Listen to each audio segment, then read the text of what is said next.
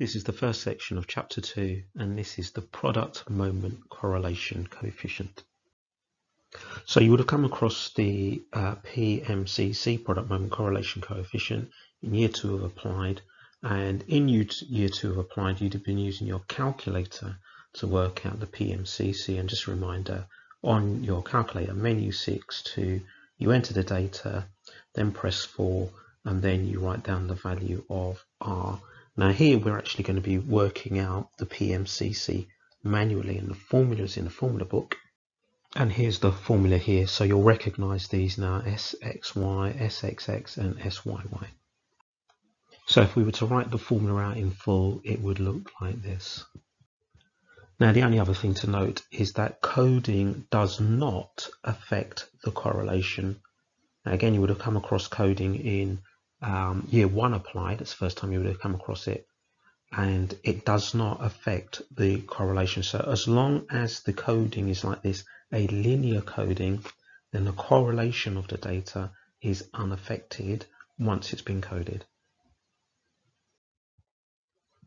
Example one, the number of vehicles uh, X millions and the number of accidents uh, Y thousands in 15 different countries were recorded. The following summary statistics were calculated and a scatter graph of the data is given to the right over here. And we've been given the summary statistics down here. Part A, what we need to do is calculate the PMCC. Now, since we've only got the summary statistics, we don't have the original data, then we have to use the formula. We can't use our calculator. Remember, when we use our calculator, we basically type in the data that we have from a table. There's no table, only the summary. So let's write down the formula. We can get this from our formula book. R equals Sxy divided by the square root of Sxx times by Syy. And so now we just um, plug in the values from the um, summary statistics we've got up here. So for Sxy, we want the sum of xy. So that's going to be uh, 9915.3 minus the sum of x times the sum of y. So that's 176.9 times by 679 all over n. And it tells us here 15 different countries. So n is 15. So write that down. n is 15. Suppose we could count the number of crosses as well. 15. So that's Sxy. So we now go to the bottom of the formula down here and we'll start with uh, SXX. So um, let's put a bracket in here. SXX is going to be the sum of x squared. So that's 2576.47 minus the sum of x 176.9 and that's going to be squared over n and then we times that by uh, SYY, so that's going to be the sum of y squared, 39771, minus the sum of y, 679 squared over n, 15. Okay, so what we'll do is we'll work out each bit of these on our calculator so that we've got the values of these summary statistics, then we'll work out the final answer. Okay, so what I've done is I've worked out each part and I've written down the exact value that I got on the calculator. So fortunately they're given us fractions.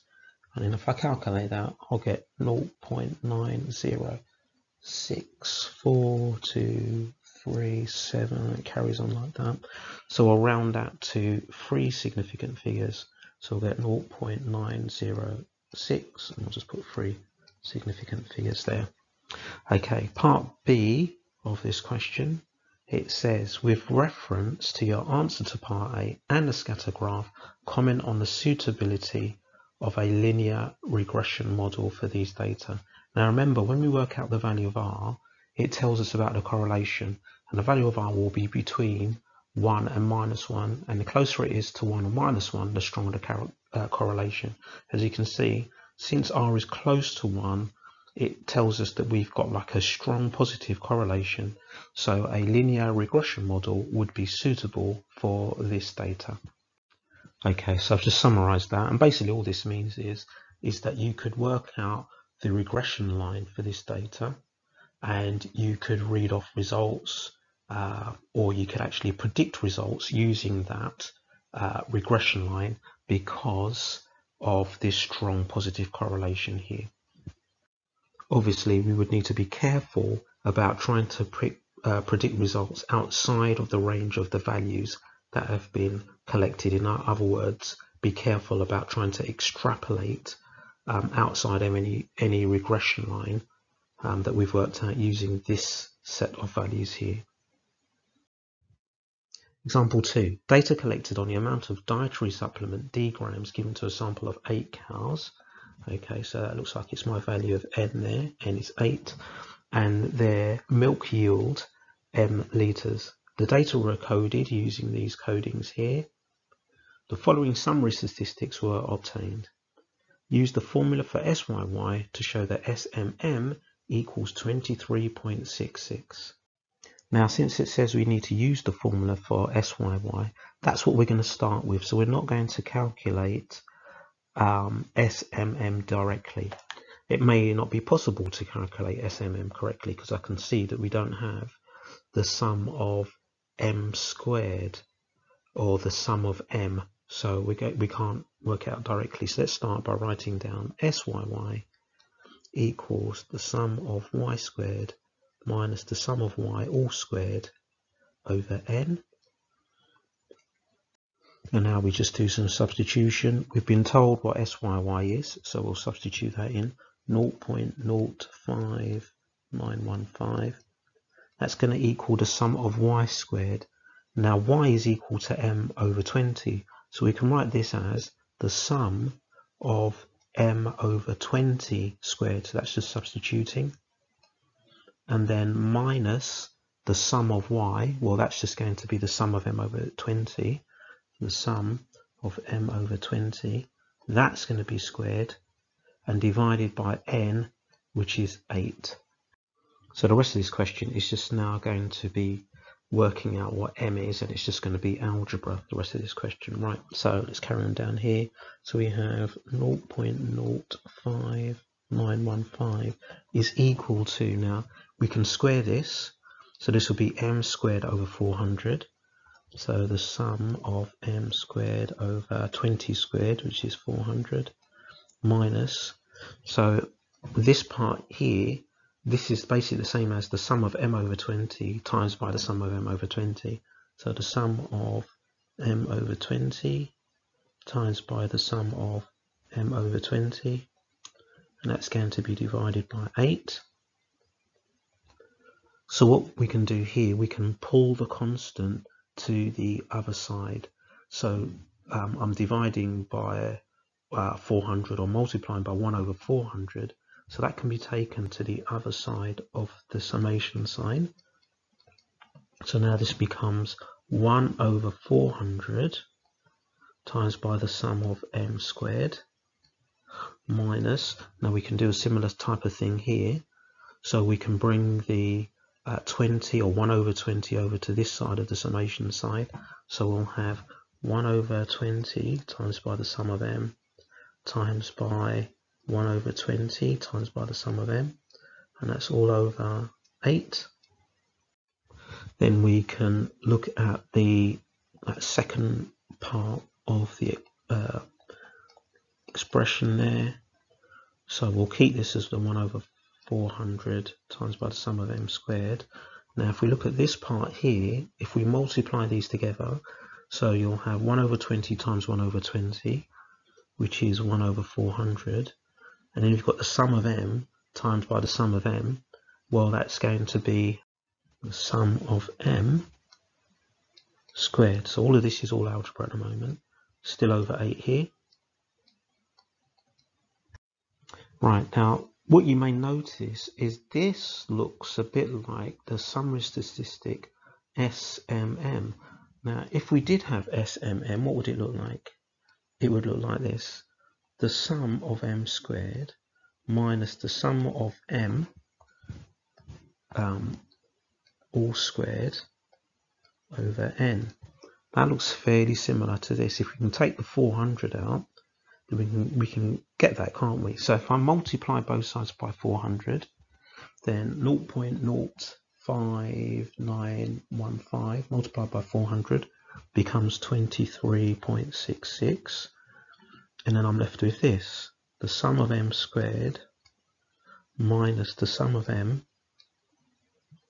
all squared over 8 now that's fine because 8 is n so can you see that it matches up so basically what I've got here is that SMM equals 23.66. Now it may be that when you get to this point you may not necessarily spot this. So do watch out for this type of pattern and the summary statistic that you're trying to find. So anyway, we'll highlight that. We've proved it as required. So I suppose I should put as required here. And we'll move on to part B. Part B, it says find the value of the product moment correlation coefficient between D and M. Now the PMCC between D and M would be the same as the PMCC between X and Y because this coding is linear. We don't have enough information to find the PMCC between X and Y. We'd get the same answer anyway. So we're going to have to use the PMCC between D and M, I think we've got enough information to find that.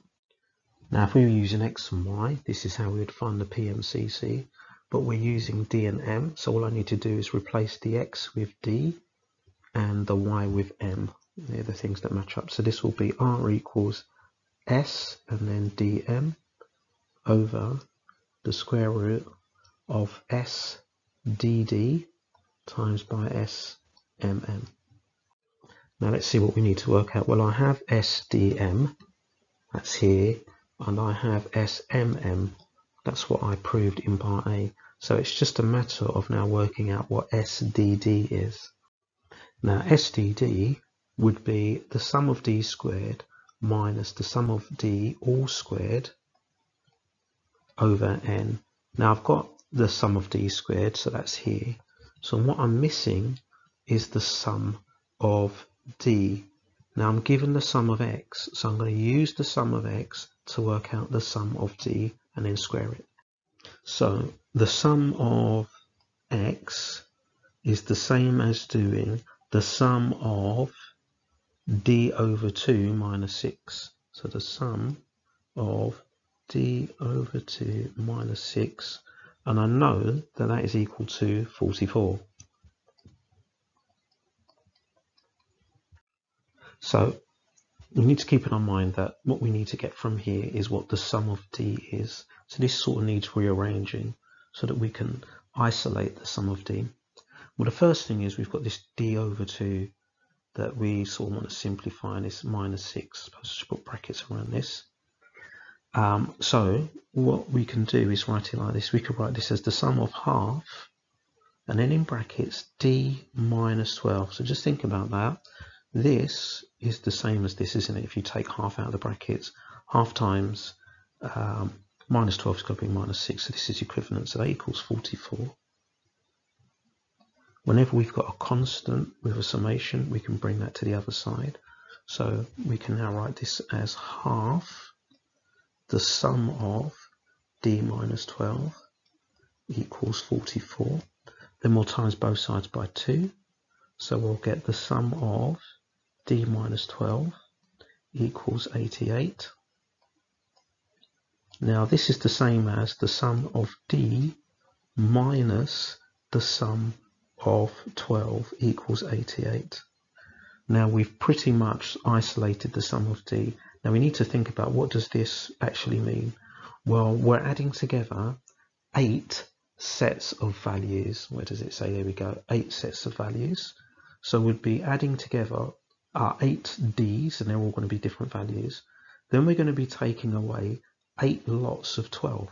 So we can rewrite this down here as the sum of D minus eight lots of 12. That's what we're going to be adding on equals 88. So then it's just a matter of um, adding 8 times 12 to 88 and if we do that on our calculators we get a value of 184 okay so now we've found the sum of D here, that's 184. So now we can carry on and work out SDD. So SDD is going to be the sum of D squared, which is 4592, minus the sum of D, which is 184. That's going to be squared over N, which is 8 and that gives us a value of 360. Now, before I finish this, if you're not sure about these rules for summations here, I'll put a link in the description and probably something up in the corner that gives a link to uh, a core one video that will go through the rules for these summations here in case you're not 100% sure why we've factorized things or moved values to the other side or exactly what's going on here but this is covered in core 1. So now I'll finish off um, part B up here where I've got a bit more space. So B continued. So now I can work out R, which is going to be SDM, which is what I um, was given there. So that's 90.6. So 90.6 divided by the square root of SDD and SDD we've just worked out here that's 360 times by SMM and that's the 23.66 right so what does that give us for R okay so it's 0.98 1 6 7, 9, and so on like that. We'll give it to three significant figures. So 0.982, three significant figures. So we can see that it's a very, very strong positive uh, correlation between the um, amount of dietary supplement that was given to these eight cows and their uh, yield of milk. So very, very strong positive correlation there. So you should now be able to complete exercise 2A on pages 24 to 26 and here's just a quick recap of what we've done.